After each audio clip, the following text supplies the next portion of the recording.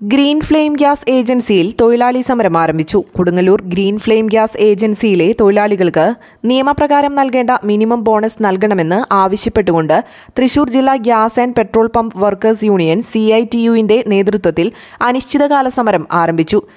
ഉച്ചത്തോടെ ഉച്ചത്തോടെ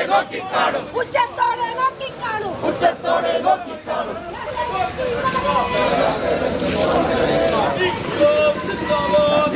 İnkılap zindabad. İnkılap zindabad. İnkılap zindabad. CITU zindabad. CITU zindabad. CITU zindabad. CITU zindabad. Başel Tamerem zindabad. Başel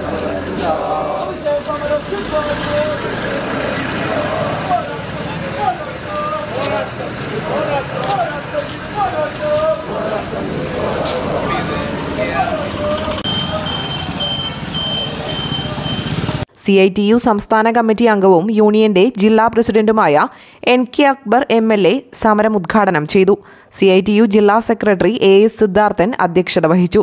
C I T U area secretary Mustaq Ali ജില്ലാ committee അംഗം A P Jayan union ജില്ലാ secretary V R Murali K S Kaisab K A Varghese T K Sanjayan P P Sasikala T S Sinil Thilakan M S Mohandas Shaju K V Prasad എന്നിവർ സംസാരിച്ചു.